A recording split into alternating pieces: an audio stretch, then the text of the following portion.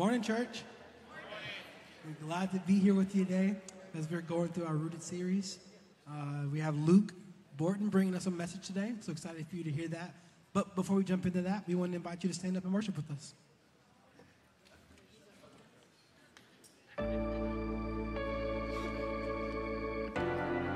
We clap our hands. Come on.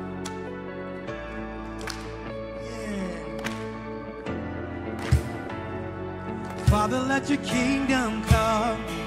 Father, let your will be done on earth as in heaven, right here in my heart. Father, let your kingdom come. Father, let your will be done on earth as in heaven, right here in my heart.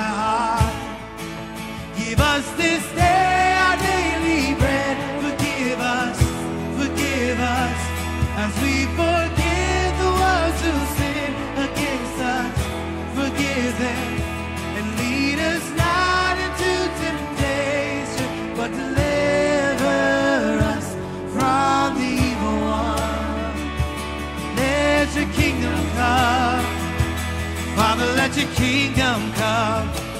Father, let your will be done on earth as in heaven, right here in my heart. Father, let your kingdom come. Father, let your will be done on earth as in heaven, right here in my heart. Give us this day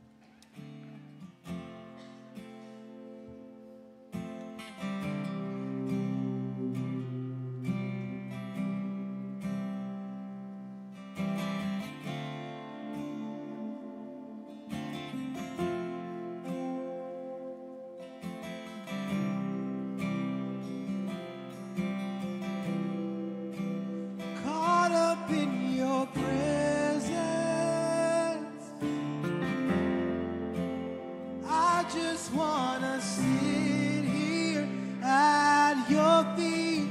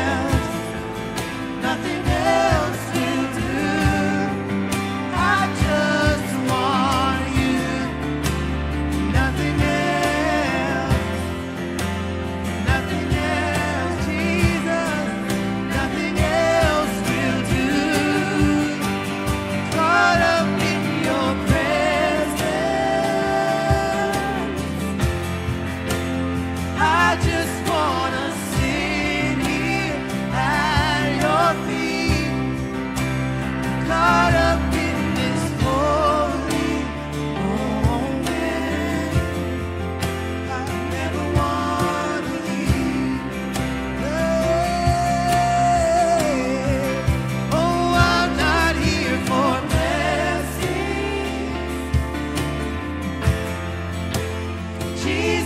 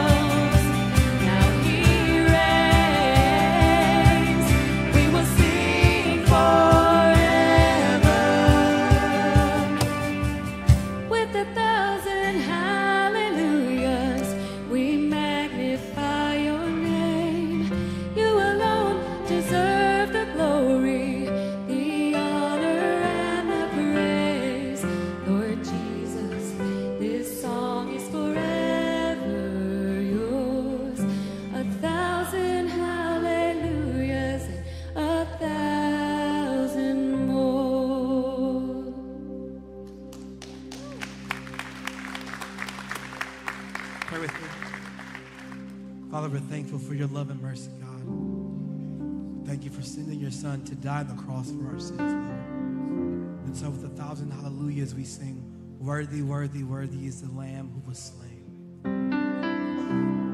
We thank you for your sacrifice. We thank you that you are the King of kings and the Lord of lords, and that you rose with all power and authority in your hands. We praise your name, Jesus, both today and forevermore. It's in your name we pray. Amen. Please be seated.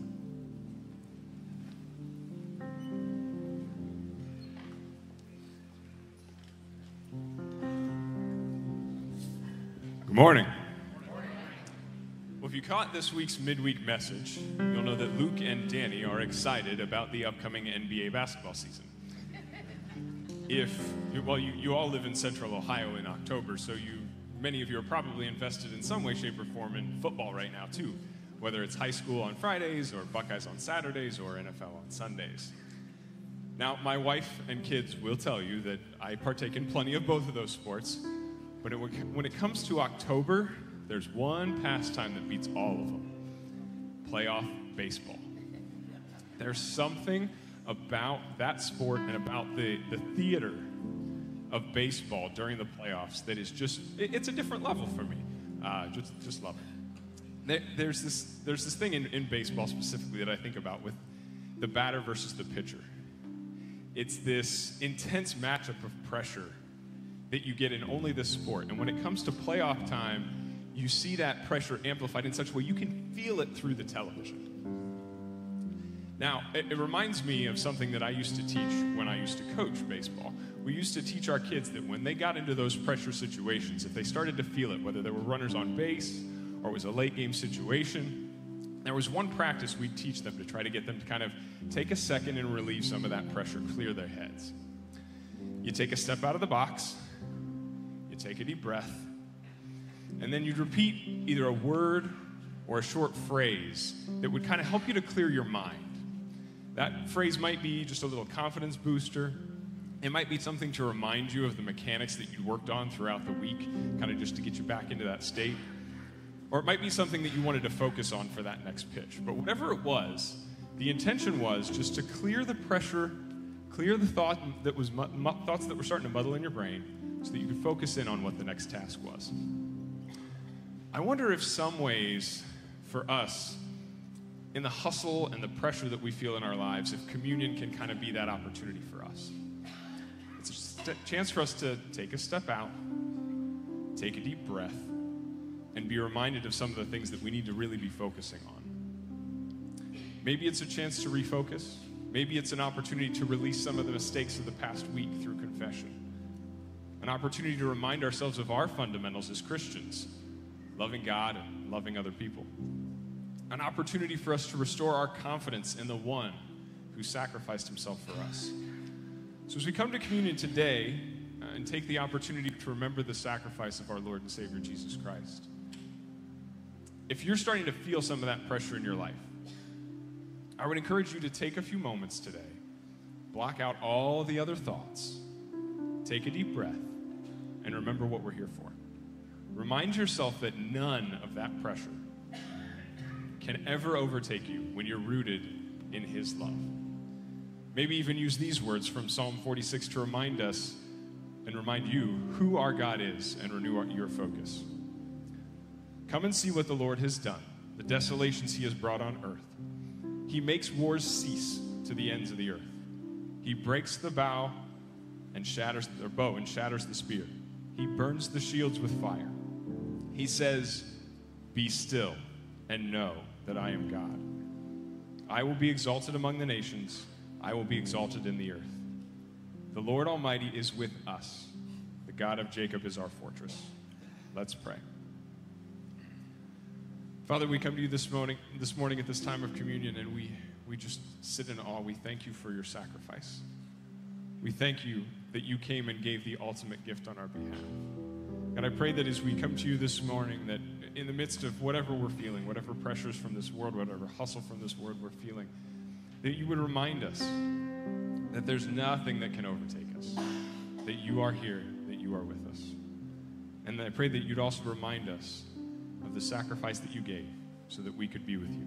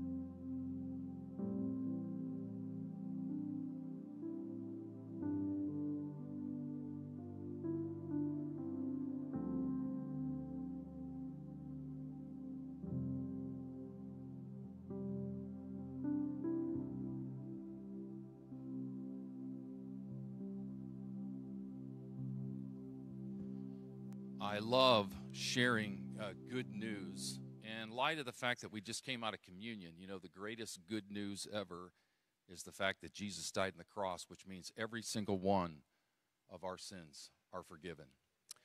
Uh, but there's even more, more good news. I'd like you to meet this family. So there's this couple um, here at our church. So it's, uh, it's Meryl and Hatsuko Snyder. And, uh, and that photo is like larger than life, would you not say? So, how awesome is this? This couple, they are amazing people. They love Jesus with all their heart. They want to serve Jesus. And the fact of the matter is, is that they'd like to belong to our church family. Now, I don't even know if they're in the, the audience right now, but by your applause, would you welcome Meryl and Hatsuko to our church family? We are absolutely delighted delighted that you would want to be a part of that. And I pray that for anyone here, if you've not yet maybe joined our church family, we'd love to have you be a part of that because of your faith and trust in Jesus. Let me also share this too. So we want to help Warm share some good news as well. So Warm, again, is near and dear to our hearts. That's the Westerville Area Resource Ministry. So this is what's happening for them. They're trying to put together Thanksgiving blessing baskets and they cannot do that without getting certain products to put in the baskets. So, what we'd like to do for the rest of October is that we'd like to collect warm drinks for warm, okay? So, those drinks would be coffee, tea, or hot chocolate. So, it's 10 to 12 ounce canisters of coffee, 10 to 12 ounce canisters of, of hot chocolate, maybe a bag of tea bags, whatever it is. If you bring all of those supplies in, you bring them in, we'll collect them all together, we'll get them to Warm, and then Warm will distribute them out to, to people, offering up some good news for some folks that are really hurting. They would be deeply encouraged, and I cannot thank you enough for the level of generosity that our church has. Thank you constantly for giving. And now, now we get to continue the Rooted series.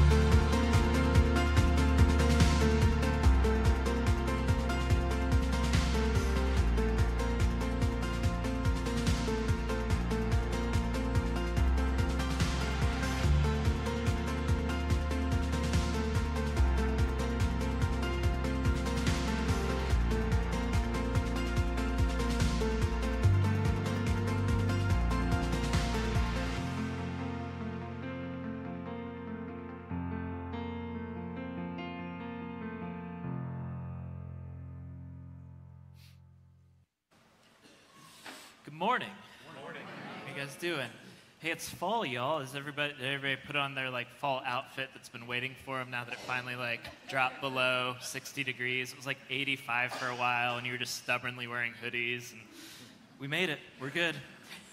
Um, we are continuing in the Rooted series, and actually, what we're starting is a, a two-parter. Um, the next two weeks are basically the same thing, but in different angles and with like it'll make sense as we go. But really, here's the two questions um, Does your life have a purpose? Does your life have a purpose? And if so, what is it? Do I have a purpose? What is my purpose? These two questions are going to dominate your life. They're going to dominate your uh, decision making from here until the end. And the way you ask that question and the way that you try to answer that question is probably different for every person in your row, right?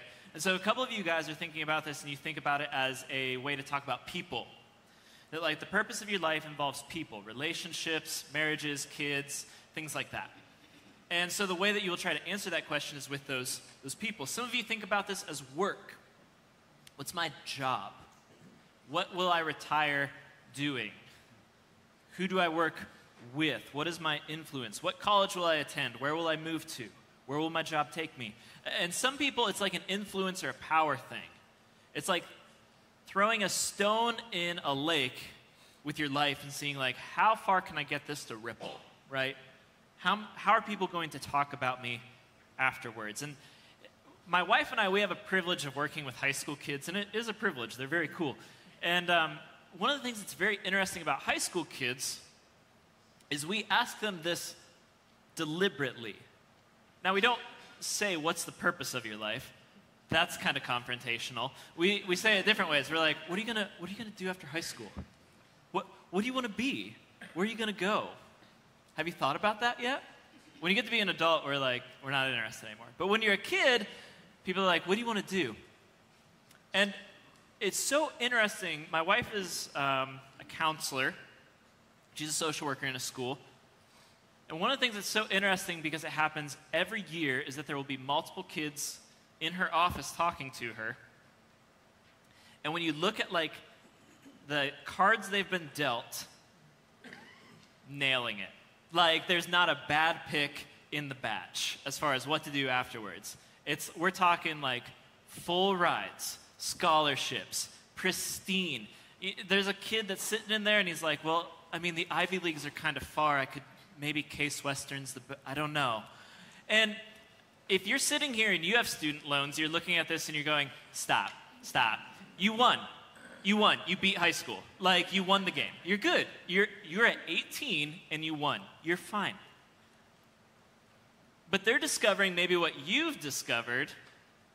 You can climb the mountain. You can win the fight. You can do all those things and then that question still lingers.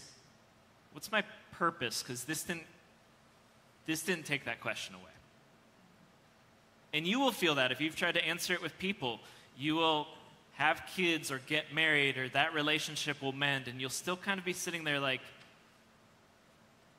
uh, i still have this feeling.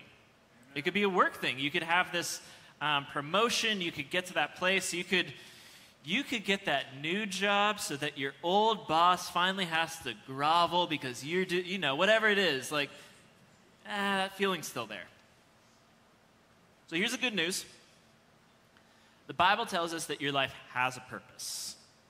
You have a special purpose. God has given you that purpose. And so here's kind of what we want to talk about. This week, we're going to talk big picture what that purpose is, according to the Bible. Next week, we're going to get a little more specific into how do you step into that. But this week, here's what we're going to do. I have three pairs. So if you're like a note taker, you might even like make three circles, like a big one, a small one, and a small one. Because what we're going to do is like old school CSI, like zoom, enhance, zoom, enhance. Like, you know, we're going to start at like Google Maps, see the whole world, and we're going to zoom into your backyard as we go. But we're going to start with this. We're going to start with a pair of commitments from Scripture. We're going to start a pair of teachings from Jesus, and then we're going to do a pair of prayers if you're weary or unsure of anything we just talked about. Okay? So let's spend some time on this first one, okay? Big picture, there are two commitments I think are really important in the Bible if you want to understand what your life's purpose is. The first is with Abraham. In the book of Genesis, God makes a promise to Abraham. He makes a covenant. The closest like version of a covenant that we have is marriage. And even that is like a little short of what a covenant is. It's not just a contract, it's an oath. And so think about this God makes an oath with something he created. God, who is outside of time, looks at someone who has a beginning and an end, and he binds himself to him. And this is what this is it's in Genesis 12, verses 2 through 3. It says, I will bless you into a great nation. I will bless you and make you famous. I will be a, you will be a blessing to others. I will bless those who bless you, and I will curse those who treat you with contempt, and all the families of the earth will be blessed through you. And so God is explaining how He is going to take care of the entire world by taking care of this one family. That Abraham, with your family, my love is going to overflow so much the entire world will be blessed. And this is what this looks like, because bless is kind of an ambiguous word. We bless you when you sneeze. So, what are we talking about here, God? God says, I will be with you. People will know you because you will know the living God. I will protect you. I will bless your land. It will flourish. If you obey my commandments, you will prosper. I will go ahead of you in battle. I will protect you from war. And why is he doing this? So that with the way that you live, the rest of the world will know God. And God puts himself under oath to Abraham with this. I will bless you, you will bless the world. Now, eventually, this family becomes the Old Testament nation of Israel. And the Old Testament is basically a story of God doing everything he can to uphold his part of the oath with a people who become increasingly disinterested, unfaithful, or rebellious. Yet Jesus is the culmination of this promise that from this family comes a blessing Jesus Christ, who goes to the cross, is crucified, and because he resurrects, we too can walk in his resurrection. That from one family, the whole world is blessed, shame is conquered, and death is optional. So, why do we have the Old Testament? I mean, you, th- you think that, right? Like, anyone else, like, not another prequel. Like, that's kind of how the Old Testament can feel. It's like Jesus' prequel story, right? Like, you don't really need it. But here's the thing it's not simply a contract no longer binding. We're good. Abraham, check. Put that in the done column. Nice. It's not. These promises still stand. In the book of Romans, Paul is actually explaining this to the church in Rome, and no one knows their Old Testament quite like this guy. And he's trying to explain to him, like, okay, well, what do we do with all that, like, stuff Israel was doing? Here's how he explains it it's in Romans 11. But some of these branches from Abraham's tree, some of the people of Israel, have been broken off. And you Gentiles, you people who are not of Abraham's family, who are branches from a wild olive tree, have been grafted in. And so now you receive the blessing God has promised Abraham and his children, sharing in the rich nourishment from the root of God's special olive tree. But you must not brag about being grafted in to replace the branches that were broken off. You are just a branch, not the root. I don't know if we have any arborists uh, in the audience, but this is a basic thing that we don't do a lot anymore. But you can take a branch off of one tree and you can like tie it, bind it, nail it, and it will fuse to another tree. This is how we get like different fruits and veg- peaches. Peaches is you took a pear tree and stone fruit and we get peaches. Now you learned. Look at that up later at Google. But what, what Paul is saying is you are now a part of this tree that's roots go millennia back to a conversation between Abraham and God. That the conversation God had with Abraham that said, I will bless you so that you can bless the world, you're a part of that now. You don't simply get all your sins forgiven, you get grafted in, you get adopted, you become a part of this. I will bless you, you will bless the world. This tree with branches all over the world, this tree with roots that go centuries back through Moses and David and the prophets and Jesus and the disciples. You're a part of that tree. And so, what is my purpose? My purpose is to bless the world because God has blessed me. You join in the very work of Christ. And this is important because when I become a Christian, I do not simply get a Savior, I get a Lord. He is your Lord and Savior. You can't kind of just buffet line pick this. You get both, it's a package deal. If you just need a Savior, why are you still here? Like when we did the construction with the baptistry here, if you just need a Savior, we could put a skylight there and just like Father, Son, Holy Spirit, boom, and beam you up. Like, well, you need to be here anymore, right? I don't think it really works that way. And also, that would be very violent and crazy. You're still here because you are meant to be a blessing in the here and the now. You are meant to shape the world. In the work of Christ, we see two things we see salvation, we see restoration. We see salvation and we see restoration. To restore something means you take it back to its previous state. In Genesis 2, before sin enters the world, God and man walk side by side. There's peace, shame is a foreign concept. And when I become a Christian, I step into Jesus' work of restoration, where he himself, being God, walks side by side with people. And with God saying that my spirit is in you, then when I'm living out my purpose and I'm walking side by side with coworkers or my kids or whoever, there's a peek into the garden. There's a peek into restoration. And this is really important because if you don't do this, Christianity will be miserable.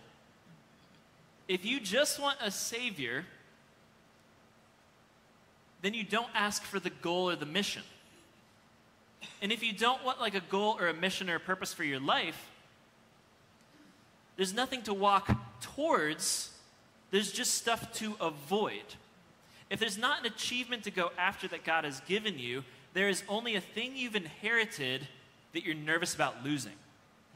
And so you will see the Bible not as God's instruction of how to live your purpose, but how not to mess up. And your operation won't be joy when you look at God, it'll be guilt as if you will lose something because you can't imagine there be any more He has in store for you. But there is. There's restoration. The Bible is direction. So I have, uh, I have kids, and it's really interesting. I have a two and a half year old and a kid that's about to be one. And the way to I, I talk to them is very different. Now, first off, it blows my mind how quickly they recognize your voice. Like, two months in, they're like, who was that? Like, very quickly, they figure that out. Even on like speakerphone, which muddles your voice like crazy because it has to bounce off a satellite to go to someone else's phone, my kids are like, is that mom? Like, very early, they figure that out. The way I talk to my kids is very different. You, you have to start with yes and no. You just have to. Now, with Zoya, my two year old, she now can like help a bit. My sentences for her are a little different. It's like, hey, can you bring me your water? Would you like to go to your sandbox? Would you put your shoes on for me? Where did your shoes go? What do you say? with the one year old. Here's the vocabulary. No, no, no, no, no, no, no, no, no, no, no. Hey, hey, hey, hey, hey, hey. Or my favorite, Mr. No, Mr. That's just a year and a half apart. So, how familiar are you with God's voice? Can you respond when God is like, hey, can you help me with something? Hey, why don't we do this? Hey, have you considered this? Or are we still on, no, no, no, no, no, no, stop, stop, stop, stop, hey, hey, hey, hey, hey? Because if you only respond to that, that's, he's going to meet you where you're at. And I think this is why Jesus gets mad at Pharisees so often, because he's got to be like, I made this life an adventure and you made it minesweeper. Like, why did you do this? and some of us live that way still. And I want to encourage you, it's, it gets better than that.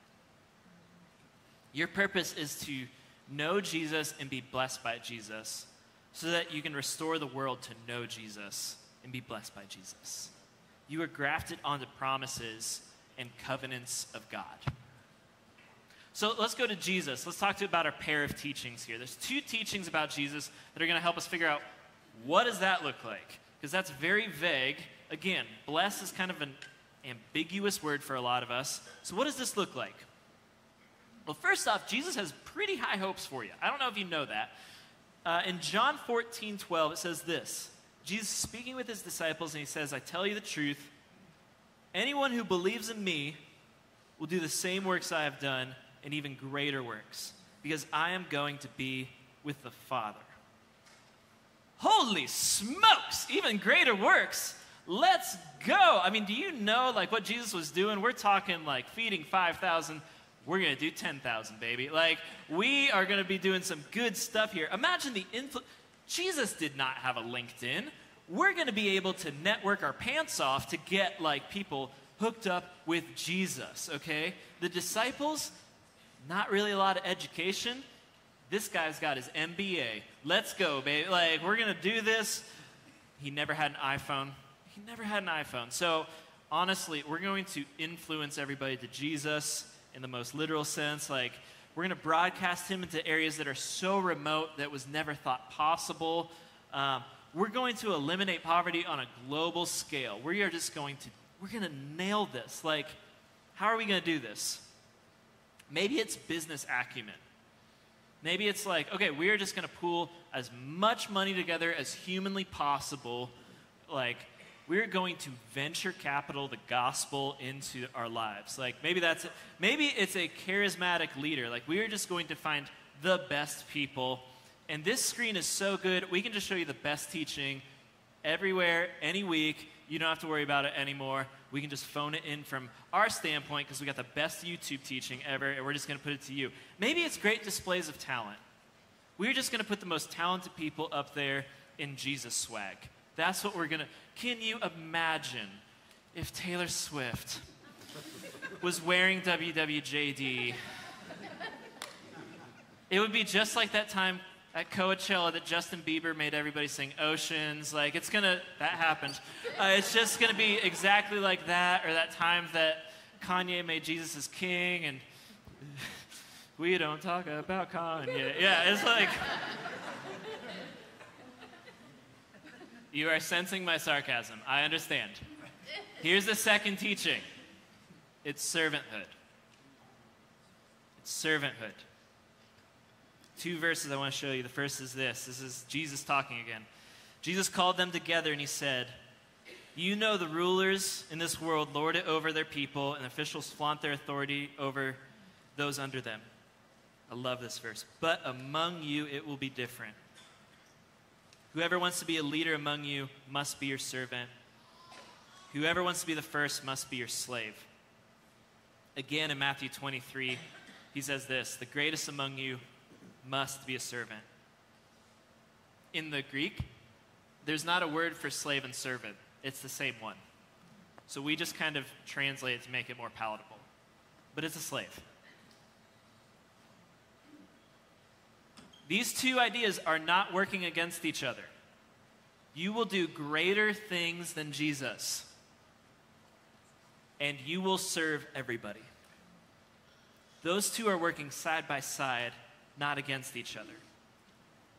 God is very clear overcoming the world is his job. My job is to serve. I learned this in high school. There was a, my youth minister was awesome. I loved working um, middle school camp. I loved going to middle school camp when I was a middle schooler, and then as I got a little bit older, I just wanted to help anywhere I could. So when I was a freshman in high school, he needed dishwashers. and in Jesus' name, I washed dishes. It was like me and four buddies. It's the closest I've ever been to being on a pirate ship. It's like there is a storm coming because they had ketchup and syrup today. And it's coming to you, 120 kids. And we got to get these clean before lunch, baby. Here we go. Steam billowing, an old, ratty swim towel over your shoulders, and you are going. And it was nice. It was fine. It was kind of fun. But then I got to be 16. I had my license. I had all the wisdom in the world. and I was asked to wash dishes again. I'm like, why am I still clean? Now it's fine. I was like, all right, good, that's fine, that's fine. But then the guitarist for that week got sick and he had to drop out. And I'm going to Jamie because I'm my youth minister because I'm leading worship at our youth group and I'm like, Jamie, this is my passion. Jamie, this is my gift. This is where I'm going to make it happen. Listen, Mordecai told Esther for such a time as this. Like, I'm, I'm really laying it on thick. And I can tell he's actually getting mad at me because now as a youth minister, I'm like, you know how much stuff you have to do at camp? And then there's a 16 year old that's like, let me play guitar. Like, that had to be annoying. But he looked at me, he's like, You are making this week happen in the kitchen. I need you there. I did not like that answer. When I got to be 18 and I graduated, he was like, Okay, you've graduated. You can be a counselor now. He never had to micromanage me. He never had to worry about why I was there because I was there when I was washing dishes for three years. And it, it had a whole new perspective because I saw what went into camp, that there was no job that was below you. And it's so interesting now because I have carried this rule over as now I am leading weeks of middle school camp and I am frustrating high school kids. I love it. but I have a kid, I have like one or two kids right now for sure that they have washed dishes two years in a row. And if they were to ask, like, hey, when I graduate this year, can I help? I'd be like, absolutely. Because I've seen you do it. I've seen you work. I've seen you get up at like 6:30 when you had to stay up to help with campfire. I've seen you do it all. Now there are students at times that are like, "Oh, is that the rule? I'll wait till I graduate to serve. I got it." It's like, eh, maybe not, man. Maybe not. I'm sorry. Here's the thing: like, if if you are going to, I don't know if I want you to mentor a student unless you can prove to me that you're willing to wash feet, dishes. Sorry, wash, wash. I don't know where I would get wash feet. I don't know. Jesus demonstrates this very leadership over and over. When he says it will not be the same power dynamics, he's pointing to himself as the alternative. You cannot shape the world for Jesus unless you're living like him. But here's the speed bump, okay? Let's summarize what we've talked about before we get to this last pair. It's your purpose to know God and restore the world to know God. And when we serve in God's name, we live out that purpose. Here's a speed bump. If this was easy and obvious, you'd be doing it already. If this was easy and obvious, everybody would do this. It's clearly not. It's clearly difficult because it does not come naturally. There is no media you will see that tells you this is the best way to go. There is nothing on Facebook or commercials or TikTok or LinkedIn or billboards or magazines, in your workplace, at your school, in your sibling life, whatever it might be. There is nothing that is going to say, like, yeah, yeah, yeah, serve everybody and you'll live out your purpose. That's the way God designed you. This is not floating downstream. This is swimming against the current.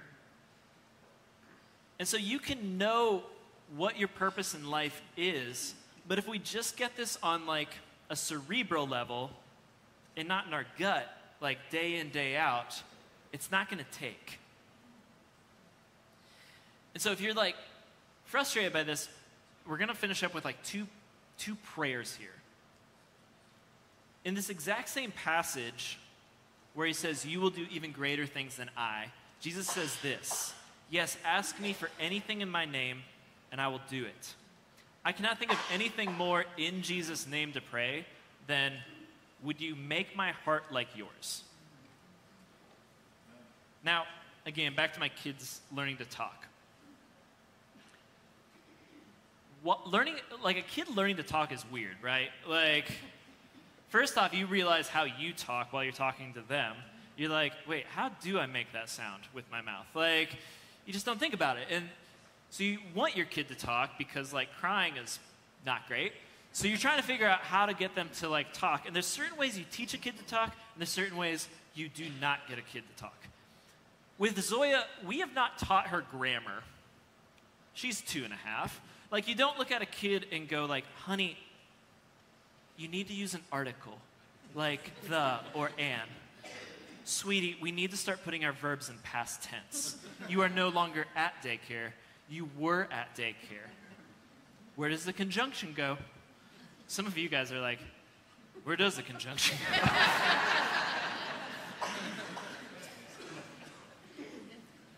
Here's how you teach a kid to, to talk to you repeat after me. That's it. Say Dada. If you struggle to pray, speak God's words back to Him. Repeat after me. If you want to learn the language of prayer, if you want to know what to say to God, repeat after me. Hey, can you, can you say, so here are two verses I want to challenge you to turn into a prayer this week. Here are two verses that if you're like, this sounds kind of daunting. Here they are, and I love these verses. The first is this, Philippians 2:13. For God is working in you, giving you the desire and the power to do what pleases him.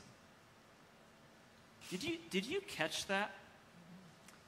God knows that you have to swim upstream to live out your purpose to the point where He's like, yes, it takes a divine intervention to get me to want to do this.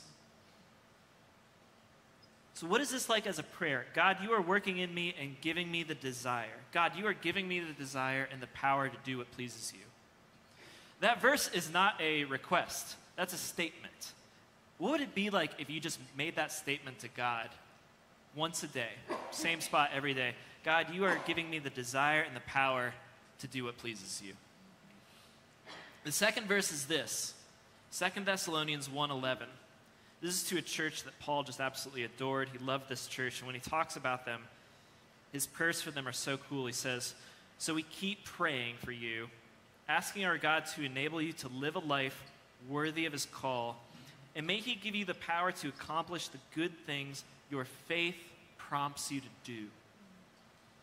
God, enable me to live a life worthy of your call. God, enable me, make it possible and give me the power to accomplish all the good things you are prompting me to do. God, when I feel you prompt me, don't let me just walk away from it. God, when I feel my faith prompting me to take a next step, have a conversation, make a prayer, sacrifice time, cut things short with other people to be there with people who need me, give me the power to do this.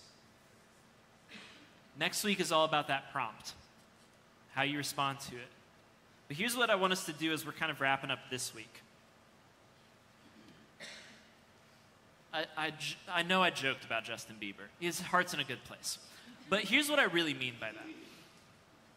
One of the things that is a pet peeve in church, and I know I work at one, but one of my things that is a pet peeve that happens at like conferences or teachings and things is we talk about society or the world.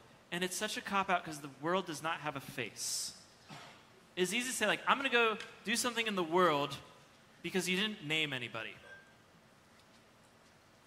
The world God is calling us to has faces, names, personality. And, like, I know I'm on stage right now, but God does not do his best work up here. He does his best work on front porches and over coffee tables.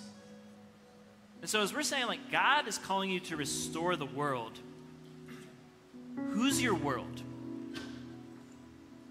Who's your world? Is it your family? God is calling you to restore that because He knows it's possible. Is it your workplace?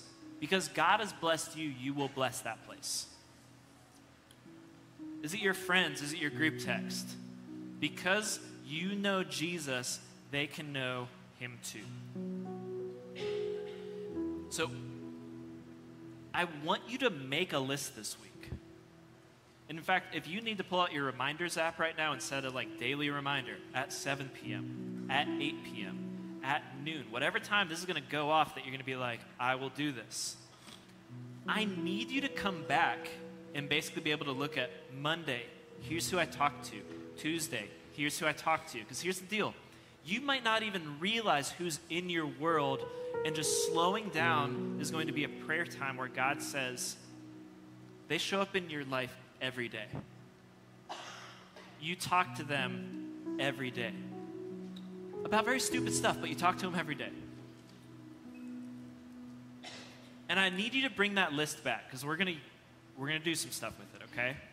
Who's in your world? You're probably not going to reach the whole world, but you're going to change someone's world. Whose is it? So this week, this is our prayer God, show me your heart, show me your world. And God, would you give me a vision of what it looks like for that world to be restored? Let's pray. Father God, we thank you. You give us purpose, you give us meaning. We don't have to figure it out. And God, it's not even that hard.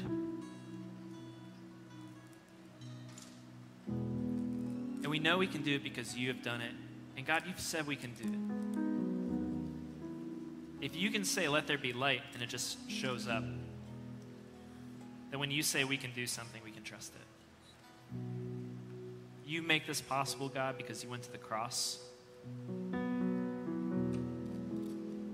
It wasn't enough just to save us, you wanted us to join you in the work.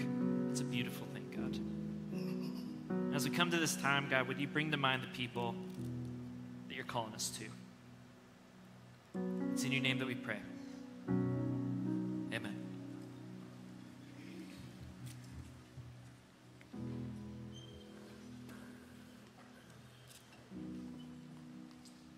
I'm to invite you all to stand and worship with us for this last song.